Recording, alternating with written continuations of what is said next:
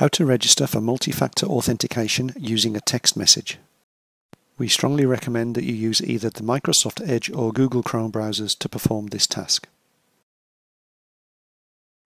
When you first sign into Office 365, iCity or Moodle, the More Information Required box will appear.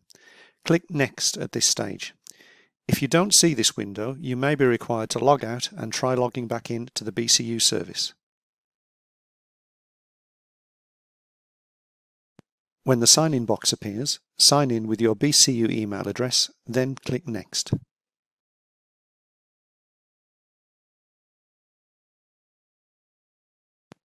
Enter your password in the Enter Password field, then click Sign in.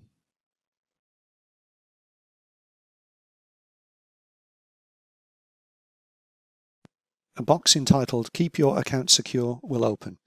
Click the link that says I want to set up a different method at the very bottom of the window. The Choose a Different Method box will now open. Choose Phone from the drop-down list.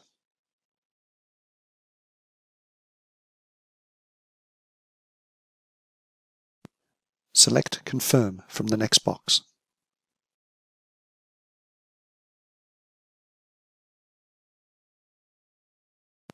From the next box to open, select United Kingdom from the drop-down list.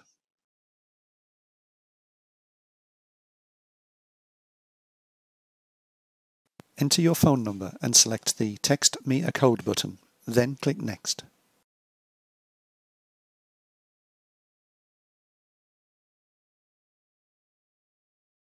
You'll now receive a code via a text message.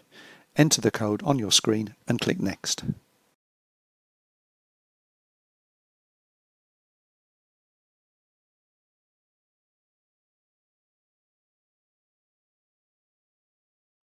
You should receive confirmation that your phone was registered successfully.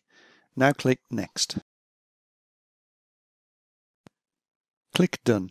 You have now registered for MFA using the text message method.